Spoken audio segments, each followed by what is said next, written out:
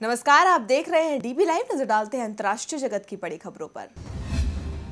Yemen के मुकल्ला शहर में फिदाइन हमला 42 लोगों की मौत, सैंतीस लोग घायल। आईएसआईएस ने ली हमले की ज़िम्मेदारी। पाक की पूर्व विदेश मंत्री हिना रब्बानी खार का दावा, पिछले 60 साल से देश के बच्चे सीख रहे हैं सिर्फ़ नफरत। जंग के ज़रिए कश्मीर नहीं जीत सकता है पाकिस्तान। विदेश मामलों के सलाहकार सरताज अज़ीज़ ने कहा, शांतिपूर्ण संबंध चाहते हैं, लेकिन कश्मीर मुद्दे से नहीं हटेंगे पीछे।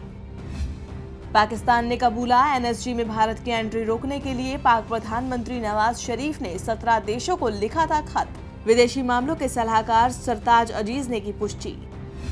2 सितंबर तक मिल जाएगा ब्रिटेन को नया पीएम। सत्ताधारी कंजर्वेटिव पार्टी ने की चुनाव प्रक्रिया शुरू करने की घोषणा। जनमत संग्रह में ब्रिटेन के ईयू से अलग हो जाने पर नैतिकता के आधार पर डेविड कैमरन ने किया था इस्तीफा देने का ऐलान।